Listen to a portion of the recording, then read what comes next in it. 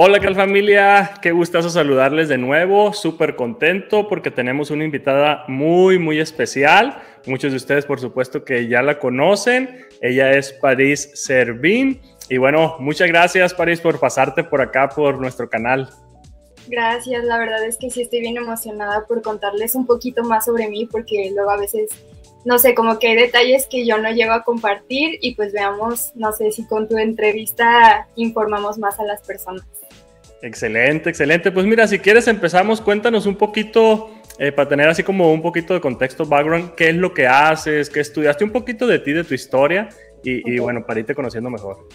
Va, pues yo soy licenciada en Mercadotecnia, tengo de hecho mi agencia de Mercadotecnia, pero hace un tiempo pues también era Godín y en ese tiempo en el que era Godín fue como de, oye, yo quiero hacer contenido de tenis, pero era como pues muy complicado porque no tenía tiempo. Entonces fue en ese momento donde decidí emprender para empezar a crear contenido, porque esa es otra de las cosas principales que yo hago, hacer contenido de tenis. Me gusta informarle a las personas que conozcan más sobre los pares y no sé cómo hacer reviews, unboxings, cosas así. Vale, vale, genial. ¿Y eh, ¿tienes, tienes tu propio negocio en, este caso entonces? ¿Tu propia empresa? Va. Así es. ¿De qué es, si se puede saber? Es de mercadotecnia. Me dedico simplemente a llevar redes sociales de algunas empresas. Ah, vale, genial. Qué cool, qué padre. Y también fotografía y video. Vale, órale, qué bueno, qué bueno saberlo. Oye, ¿y cuándo inició tu amor por los sneakers? Es que yo digo que fue algo como desde bien pequeña, porque, mm, no sé, desde chiquita tenía como ese gusto por usar tenis y yo siempre digo que hay como un punto que me marcó demasiado, sobre todo, que fue cuando iba como en la primaria y mis papás me regalaron unos Adidas Superstar. De hecho, estaba como súper prohibido porque para deportes tenías que llevar como de esos tenis de deportes, ¿no? De los todos blancos, así. Entonces mis papás decidieron regalarme unos Adicolor para deportes y yo los empecé a llevar a la escuela. No, pues yo tenía todas las miradas encima y así, wow, estos tenis. Entonces como que desde ese momento me gustó el sentimiento de llevar puesto algo diferente. Vale, vale, vale, qué genial.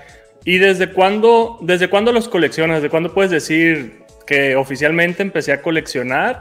O no sé si tengas mucho tiempo, poquito tiempo. Como cinco años, porque fue cuando empecé a trabajar. O sea, hace cinco años, creo que salí de la universidad hace tres años aprox, pero este, yo ya trabajaba desde antes. O sea, estudiaba y trabajaba al mismo tiempo. Y cuando tuve mi primer trabajo, era un trabajo en el que ganaba como 1.500 pesos al mes, pero pues no tenía tantos gastos, entonces fui ahorrando y como a los seis meses ya por fin pude comprarme unos tenis y fue cuando dije, wow, me compré unos tenis con mi propio dinero, entonces quiero empezar a hacerlo más seguido. Y pues se convirtió como en una adicción. Oye, ¿y cuáles fueron esos primeros que te compraste? Son unos Air Force One, este, la verdad es que el modelo lo desconozco. Me gustaría mostrárselos, pero lo tengo, no, sé en dónde.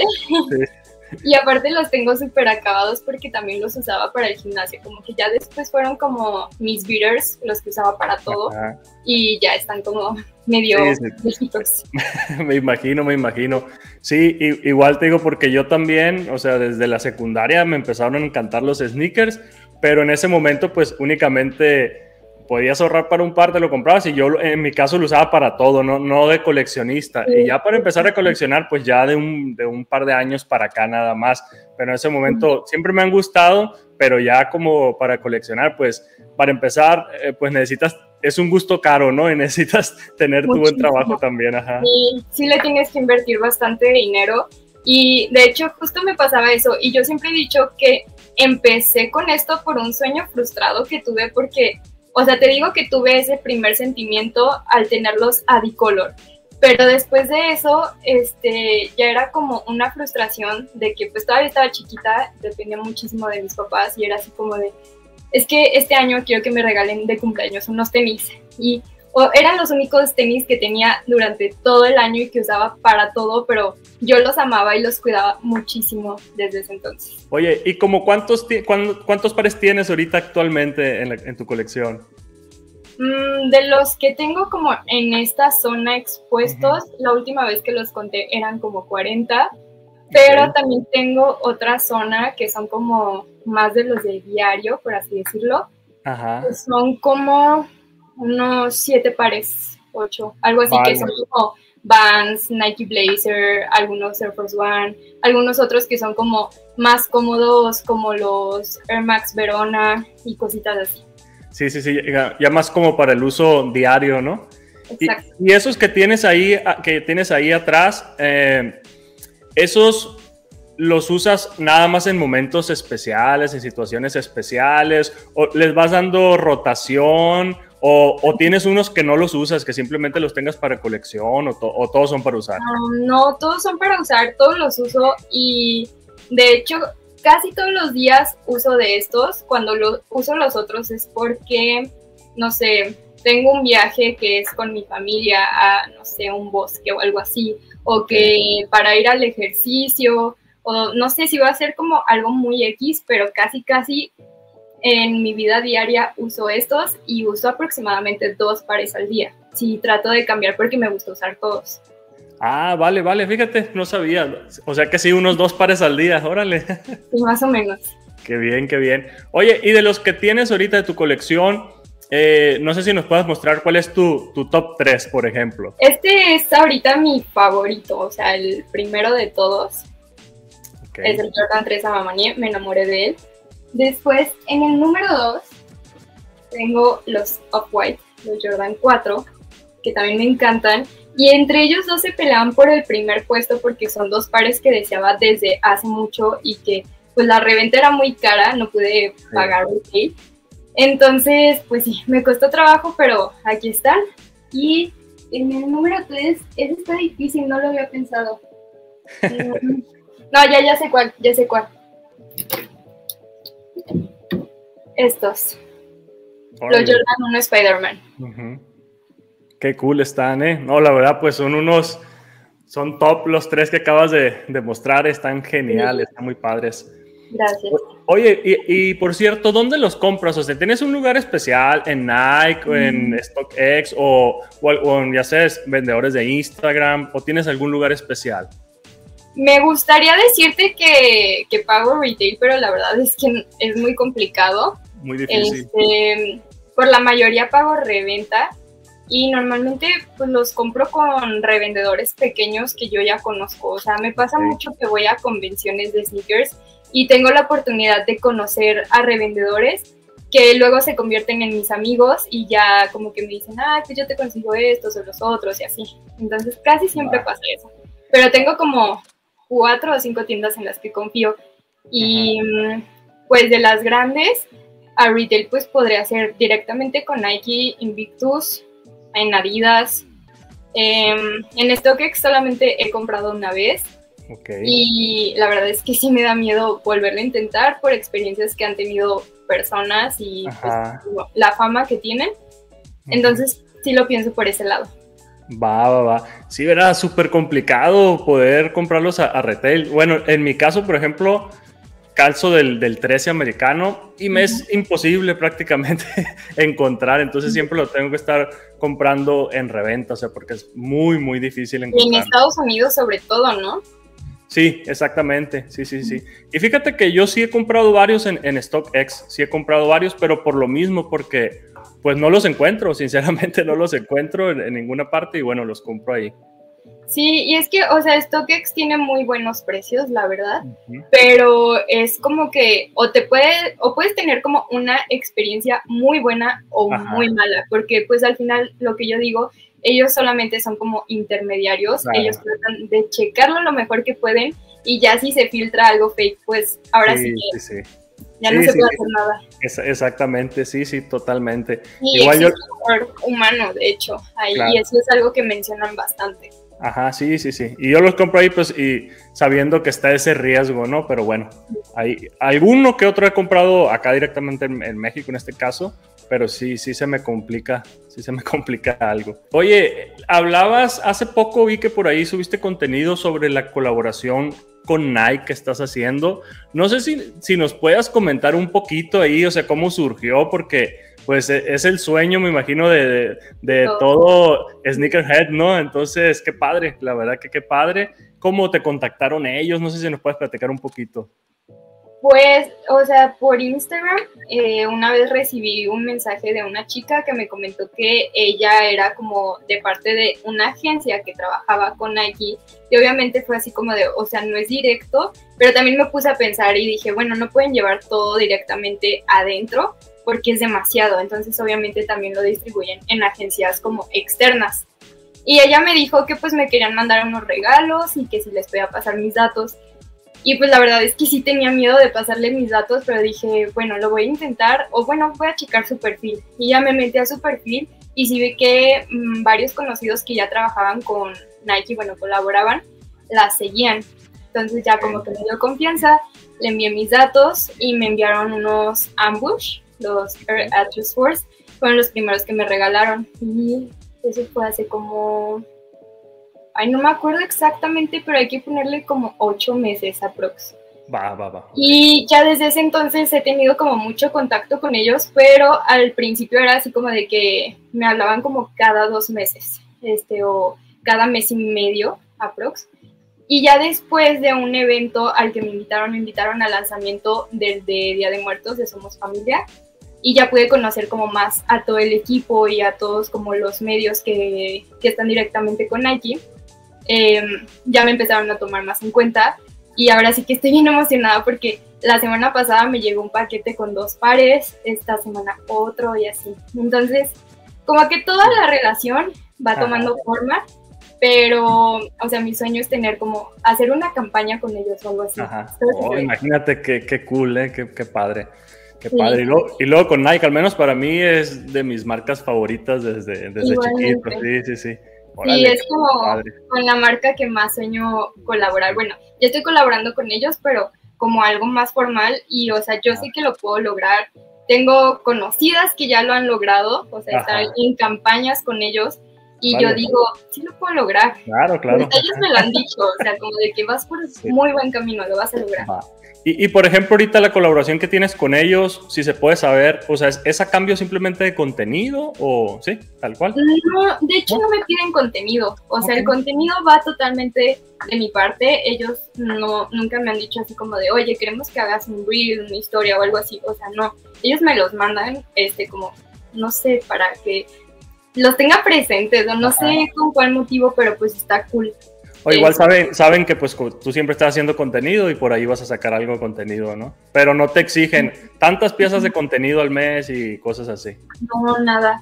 No, creo que eso igual y podría ser más adelante de que cuando ya te hacen como firmar un contrato con ellos, porque pues también, o sea, conozco varias personas que ya tienen contrato de exclusividad con ellos y ahí sí es como, no sé, diferente, cambian las cosas. Sí, sí, sí. Órale, pero la verdad que padre, ¿eh? muchas felicidades. Muchas felicidades. Oye, hablábamos ahorita de, pues, de que este es un gusto caro, ¿no? Eh, ¿Cómo le haces tú, por ejemplo, en la planificación para comprarte un nuevo par? O sea, eh, dices, ¿sabes qué? Al mes me voy a comprar un par, no sé, o uno cada dos meses, o no, o simplemente como vaya fluyendo te vas comprando. ¿Tienes algún tipo así como de que te programas o, o cómo van fluyendo las cosas?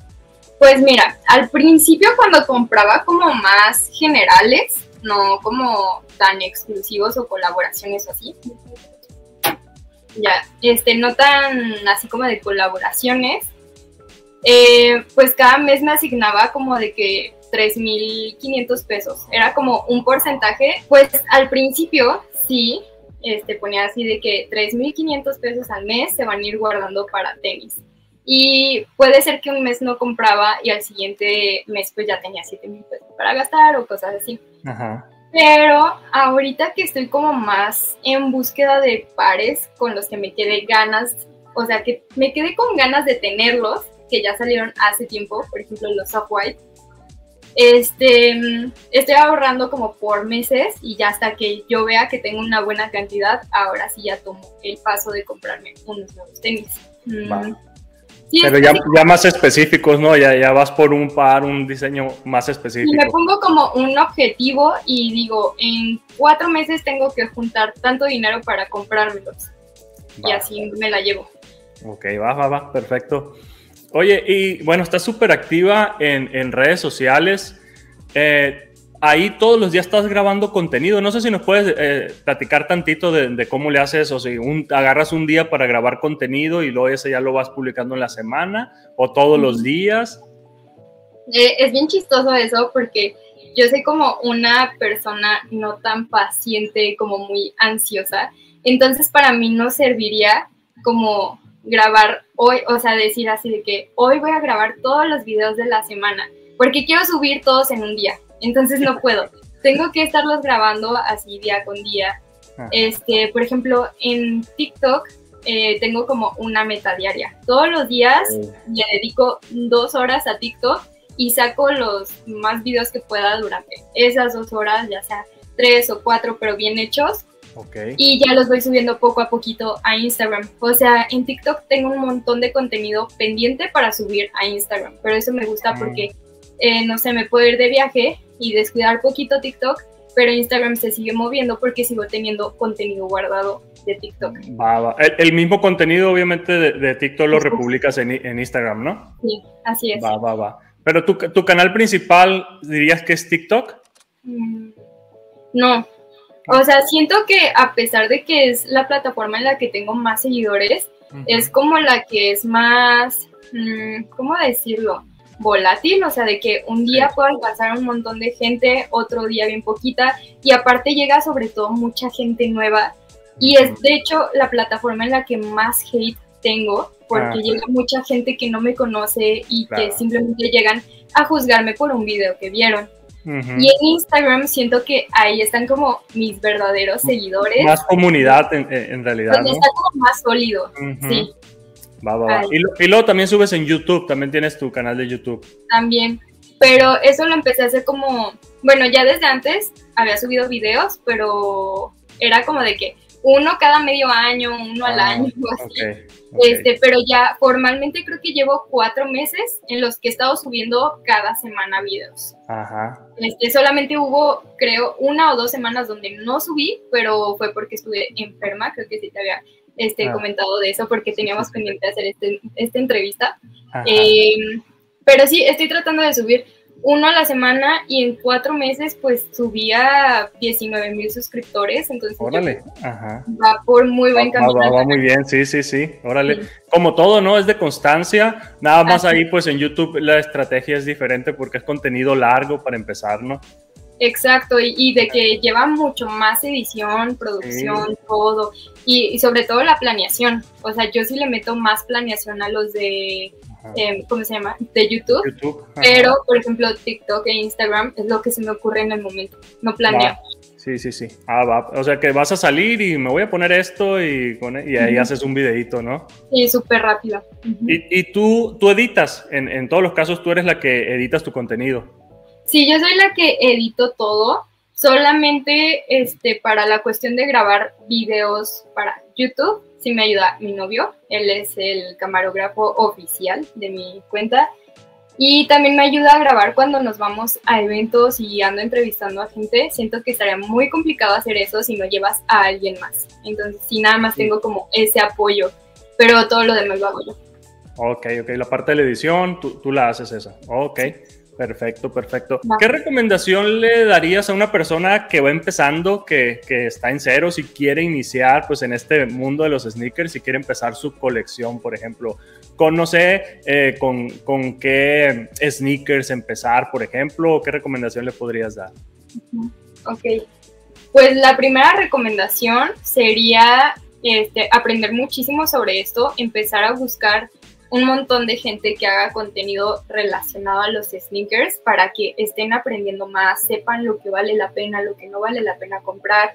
Creo que esa es la mejor manera de informarse. También hay muchos libros relacionados a tenis en los que pueden aprender. Eh, pares para comenzar, yo creo que siempre el Jordan 1, el Air Force One o un Dunk es como lo más sencillo para empezarte a meter en esto.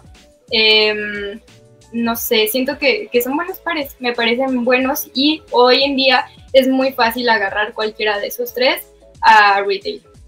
Y después, ¿qué otra cosa les podría decir? Pues que sean pacientes, porque no, no van a construir una colección de un día para otro ni de un año para otro, a menos de que tengan una gran, no sé, alcancía. Pero esto va lento, poco a poco y no se desesperen. O sea, yo me desesperaba al principio porque tenía muchas ganas de tener mi Jordan 4 White. Lo deseaba tantísimo y yo decía, es que ya lo quiero, ya lo quiero, ya lo quiero. Pero no era el momento indicado porque yo sabía que en ese momento me iba a endeudar muchísimo si los compraba. Entonces dije, mira, las cosas se van a dar. Eh, en algún momento los podré, eh, los podré comprar como a mejor precio. Entonces, simplemente paciencia, las cosas llegan. Sí, ¿no? Y, luego también fíjate, comprar lo que a ti te gusta, ¿no? O sea, no, no lo que está por ahí. Sí, ajá, e, eso, o sea, por ejemplo, en mi caso, que a mí me gusta mucho el básquetbol y que mi amor por los sneakers nació de, de jugar básquetbol. Entonces, eh, yo la verdad como que me enfoco mucho o, empecé enfocando, enfocándote mucho en, tenis de, de básquetbol, en este caso, por supuesto Jordan, ¿no? Pero no solo Jordan, Pippen, Hardaway, etcétera. Entonces, al final también, pues, comprarte lo que a ti te gusta, ¿no? Y eso es muy importante y ya lo había dicho en alguno de mis videos en TikTok, porque a mí me comentan muchísimo como, oye, es que ¿por qué usas esos tenis? ¿Por qué no usas esta marca? ¿Por qué no usas este par? Este, que no te gusta este nuevo, no sé, New Balance o así? Y es como de, chavos, es que deben de entender que cada persona tiene sus propios gustos. O sea, yo no voy a seguir hacia donde están siguiendo las modas yo voy a seguir a lo que verdaderamente me gusta. También luego empiezan a decir, ay, es que los Jordan 1 ya pasaron de moda, eso ya quedó en el pasado. digo, ok, pasaron de moda para ustedes, pero para mí, pues no, yo los sigo queriendo y yo ni siquiera los uso por moda, o sea, los uso porque verdaderamente me gustan, es un par con el que me siento cómoda y listo. Ándale, eso creo que es importantísimo, ¿eh? porque igual yo cuando ya empecé así con, ya en en tema de, colección, también decía, ay, quiero este, pero porque eran los que todo el mundo quería. O luego dije, no, no, no, yo me voy a enfocar en los que realmente me gusten a mí y en pares que cuando estaba en secundaria quería y nunca había podido tener, digo, pues voy sobre este, ajá, voy sobre este. Pues muchísimas gracias, Paris, la verdad que gracias por toda esta información, gracias por pasarte por el canal. Eh, ¿dónde, te ¿Dónde te podemos encontrar para dejarlo aquí en la, en la comunidad y que vayan y, te busquen y te sigan? Pues en todas partes estoy igual como Paris Servín. Estoy ahorita en TikTok, en Instagram, en YouTube y también tengo Facebook. Voy empezando en Facebook, pero sí en esas cuatro plataformas igual como Paris Servín. Paris Servín, así tal cual. Va, genial, genial. Pues muchísimas gracias, gracias por pasarte por acá, te agradezco mucho tu tiempo y bueno, ojalá en un más adelante podamos hacer otra colaboración. Sí, claro, muchas gracias también por invitarme y espero que les hayamos dejado como alguna información importante. Entonces, pues sí, muchas gracias. no, yo creo, yo creo que sí, eh, mucha información importante. Ándale, te mando un fuerte abrazo y, y muchas gracias, Paris. Igualmente, bye. Bye bye.